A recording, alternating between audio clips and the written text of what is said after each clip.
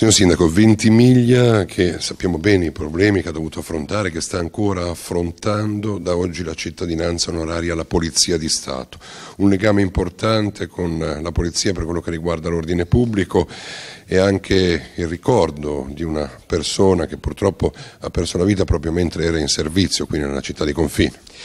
Sì, ma soprattutto si voleva premiare eh, il lavoro ordinario, quotidiano che fanno ormai dal, dal 2014 tante, uomini, tante donne e uomini della, della, polizia, della, polizia, di Stato. Un lavoro ordinario spesso, spesso stancante, spesso eh, anche profondo dal punto, vista, dal punto, di vista, umano. Quindi era un piccolo gesto simbolico per eh, riconoscere questa attività che la PS fa tutti i giorni sul nostro territorio.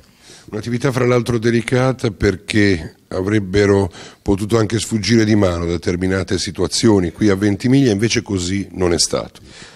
questo a maggior ragione è stato proprio un atteggiamento di, di comprensione del, del, momento che avviene solo, eh, lo può fare solo chi ha una grande professionalità, una grande capacità di leggere eh, le situazioni. Quindi a mio avviso è un qualcosa che la città di Ventimiglia, tutta la sua comunità deve alla Polizia di Stato, eh, che sono stati quelli senz'altro più, più, impegnati. Vorrei anche ricordare però tanti uomini e donne dei, dei carabinieri, della Guardia di Finanza, eh, de, de, della insomma, della capitaneria, sono tanti, sono tanti davvero eh, le persone che hanno collaborato su Ventimiglia, quindi è giusto dare un, un riconoscimento. Prefetto Savino, una giornata importante per la Polizia di Stato, in particolare qui a Ventimiglia dove l'impegno è stato tanto e continua a essere pressante, possiamo dire. Assolutamente sì, è una giornata importante perché ai ragazzi di Ventimiglia, del commissariato, della Polizia di Stato, delle specialità viene dato un riconoscimento per l'importante lavoro che viene fatto su un tema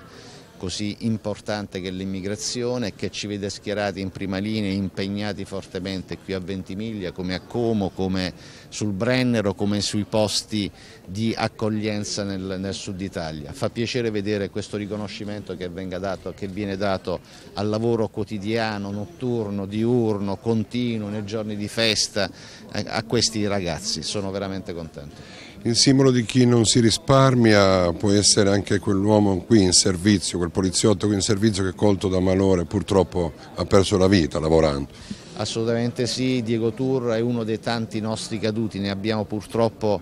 dal, quando facciamo i conteggi dal 46 in avanti sono alcune migliaia caduti della polizia, solo dalla Polizia di Stato, non, non cito il numero elevatissimo di feriti. Ecco, eh, Diego Turra è uno di quelli che in una situazione di criticità, quindi quando